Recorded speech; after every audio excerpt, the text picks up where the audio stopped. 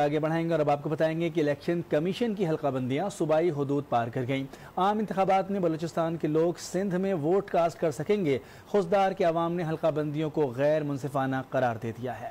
Election commission کی حلقہ بندیاں صوبائی بارڈر کراس کر گئیں۔ جنرل الیکشن میں بلوچستان کے لوگ اب سندھ میں ووٹ کریں گے۔ ضلع خوزدار کے یونین کونسل سنچکو کے وارڈ ڈاڈارو اور ملکہ آبادی کو سندھ کے ساتھ منسلک کر دی گئی ہیں۔ آج یہاں ڈسٹرکٹ چیئرمین خوزدار آغا شکیل احمد درانی نے علاقے کے عمائدین کے ہمراہ نیوز کانفرنس کرتے ہوئے اس حد بندی کو غیر منصفانہ قرار دے دی۔ کرخ سنچکو کا جو ہمارا یونین کونسل ہے، اس کے کچھ حصے جو ہے وہ سندھ میں شامل کیے گئے ہیں۔ یہ مسئلہ اگر میڈیا سے حل ہوا تو ہم انشاءاللہ اس کو کوشش کریں گے، خوش اسلوبی سے حل ہو جائے۔ اگر یہاں سے حل نہیں ہوا تو انشاءاللہ ہم کورٹ اور کچہری تک کا دروازہ کھٹکھٹائیں گے اور وہاں سے بھی حل نہیں ہوا تو انشاءاللہ اگلا لائے ہمارا ہمارا جو ہے وہ احتجاجی صورت میں ہوگا اور اس کو ہم کسی صورت میں جو ہے سندھ میں شامل ہونے نہیں دیں گے۔ ہمارا سنچکھو کا جو ایک وارڈ ہے ڈاڈارو کے نام سے اس کو سندھ کے کسی حلقے میں شہزاد کوٹ کمور میں شامل کیا گیا ہے۔ گزارش کی کہ اس طرح کا نرالا واقعہ پاکستان میں بھی نہیں ہوا ہے کہ ایک صوبے کا ایک وارڈ دوسرے صوبے میں شامل کیا گیا ہے۔ نیوز کانفرنس میں عوامی نمائندے اور قبائلی عمائدین کا کہنا تھا کہ حلقہ بندی میں بلوچستان کے جن حصوں کو سندھ کے ساتھ منسلک کر دیا گیا ہے، وہاں سے حال ہی میں قدرتی گیس دریافت ہوئی تھی۔ یہ ہمارے وسائل کو دوسرے صوبے کی جھولی میں ڈالنے کے مترادف ہے، جسے کسی بھی طور پر قبول نہیں کیا جائے گا۔